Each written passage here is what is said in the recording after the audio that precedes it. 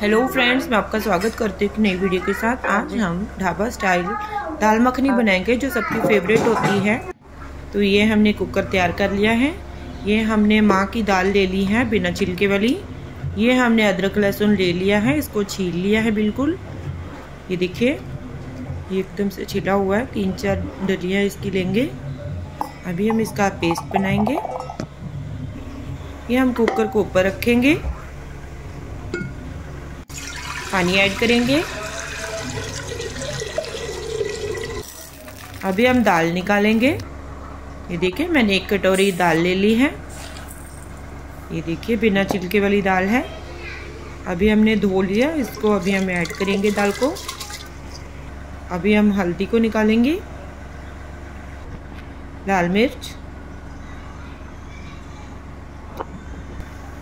नमक नमक आप स्वाद अनुसार डालेंगे। ये हम अदरक लहसुन का पेस्ट बनाएँगे। अदरक लहसुन का पेस्ट तैयार है। इधर हमारी दाल को उबाल आ चुका है। अभी हम नमक मिर्च को ऐड करेंगे। फिर से चलाएँगे। ये अदरक लहसुन का पेस्ट ऐड करेंगे। अभी हम ढक्कन को बंद करेंगे कुकर को। सीटी लगने का वेट करेंगे। ये देखिए, हमारी सीटी आ चुकी है। कुकर को नीचे उतारेंगे। कुकर को खोलेंगे।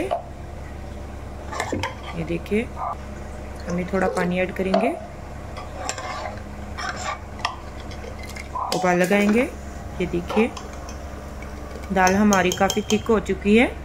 इधर हम टमाटर लेंगे। इसको काट के अभी इसकी हम प्यूरी बनाएँगे। प्यूरी इसकी तैयार है। अभी हम इसको तड़का लगाएँगे। ये देखिए, हमने प्याज काट के छोटे टुकड़ों में रख लिया है। पैन रखेंगे, तेल डालेंगे।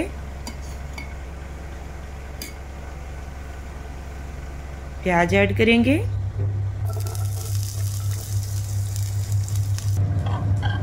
ये देखिए, दाल काफ़ी गाढ़ी हो चुकी है। अभी हम इसमें फिर से पानी मिलाएँगे। ये देखिए।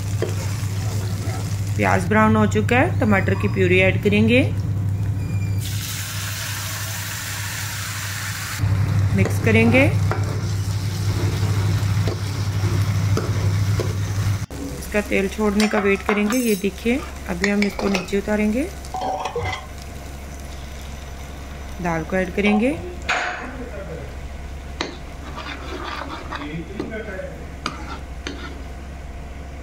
इसको दाल को मिक्स करेंगे हम बीच में।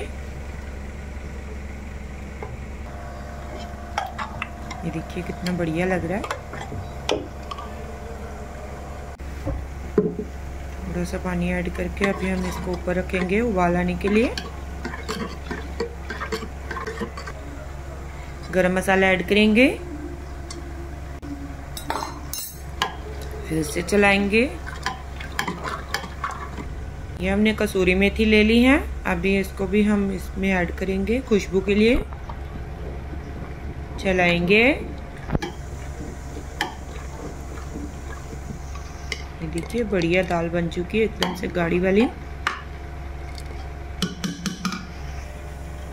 ये देखिए, उबाल आ चुका है। खुशबू भी बढ़िया आ रही है इसकी। नीचे उतारेंगे।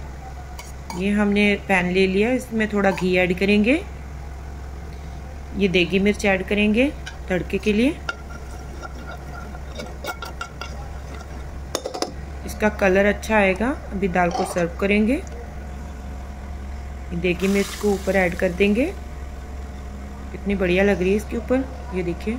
ये हमने क्रीम ले ली है, अभी इसके ऊपर हम गार्निशिंग करेंगे, ये देखिए।